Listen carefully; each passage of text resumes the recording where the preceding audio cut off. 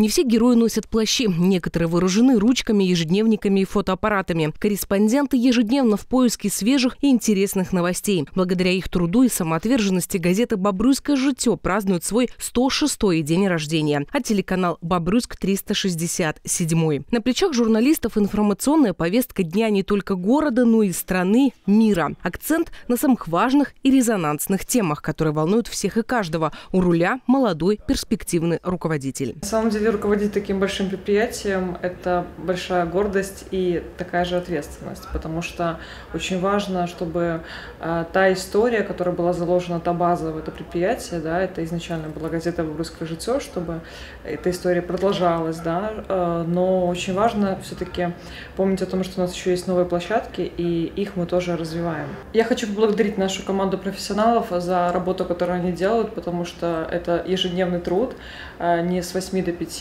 а практически 24 на 7. Поэтому спасибо каждому, и впереди у нас очень много работы, и только в добрый путь. Вот уже больше века жители города могут узнавать самые свежие новости благодаря тем, кто ежедневно отдает ремеслу всего себя. Среди настоящих профи – ведущий корреспондент, экс-главный редактор Александр Казак. Тексты мастера узнаваемы с первых строк. Одни из излюбленных у читателей рубрик «Параллели», «Ретроспектива качества», «Беларусь помнит» и многие другие. Как показало время, э, наша газета тоже выдерживала и борьбу в самые различные периоды э, истории нашей страны. И вот дожила до 106 лет. Я, конечно, горд тем, что успел застать настоящих бобруйских мастеров слова, Корреспонденты информагентства – это универсальные бойцы, способные трудиться на любой из площадок, написать заметку в газету, выйти в прямой эфир на радио снять сюжет на телевидении. При информагентстве совместно с Центром дополнительного образования детей и молодежи действует школа блогеров «Осьминог». Как-то так сложилась судьба, что меня очень заинтересовала эта сфера, и когда э, я впервые очутилась здесь, я поняла, что очень хочу здесь работать, потому что именно эта сфера, именно вот это место, информационное агентство, были близки мне тем, что здесь работают очень хорошие люди, большая сплоченная команда, которая тоже может и научить чему-то, и направить в каких-то аспектах. Семь лет назад, 28 ноября, берет свой старт телеканал «Бобруйск-360». Мнение, аналитика, ток-шоу, актуальные интервью и развлекательные программы стали доступны жителям всего региона на современной платформе. Константин Шевцов, именно из-под его рук ежедневно выходит в эфир новости, еженедельно итоги недели и еще масса самых разных проектов. Малоизвестная широкой массе профессия инженер монтажа ловкость рук и никакого мошенничества, виртуозное владение профессиональной программой, мастерское исполнение любых задач, умение быстро и качественно принимать решения. Это своего рода борт-инженер самолета. Вообще изначально как бы это все задумывалось э, очень давно, телевидение. Вот. И пришел я в эту организацию, когда телевидения в помине не было. Вот. Но э, потихоньку это начало развиваться, и вот имеем то, что имеем. И телевидение, и радио, и целый медиаход.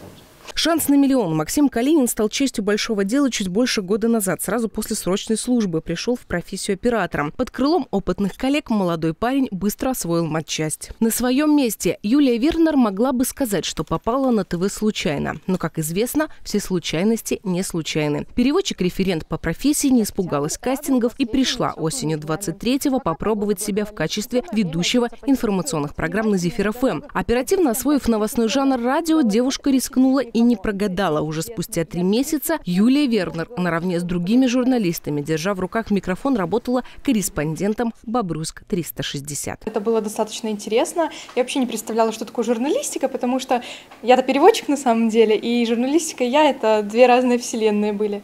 Вот. Но со временем я училась, узнавала что-то новое, и это интересно. Любовь с первого взгляда. Светская львица снаружи, книжный червь внутри. Елизавета Липеева официально второй год ведущий корреспондент «Бобрюск 360». Но это лишь формальность. Девушка с телеканалом все семь лет. С самого первого эфира тогда еще школьница Лиза с замиранием сердца ловила каждый выпуск новостей. Именно 24-я кнопка на зала осуществила мечту скромной, но очень амбициозной девушки – работа на телевидении. Порой бывает очень-очень трудно, но когда ты получаешь готовый продукт, это текст, на который накладывается картинка, это интересные комментарии людей, это просто какие-то невероятные чувства, когда ты понимаешь, что ты сам сделал этот проект. Всегда ваш Бобруйск 360. Сегодня, спустя 7 лет эфиров, телеканал также громко вещает на всю Могилевскую область. Небольшой, но слаженный коллектив делает 11 проектов. Новости, итоги недели, сирена, политический курс, мой выбор, Зумера онлайн, старый город. В этом месяце на экраны вернулись полюбившиеся проекты Бобруйск Лайв и под острым соусом, но уже в совершенно ином формате. Хозяйкой телевизионной кухни стала рассказала блогер Алена Мещикина. Коктейль эстетических блюд и интересная беседа со знаменитыми людьми под самым острым соусом каждую субботу в 16.15.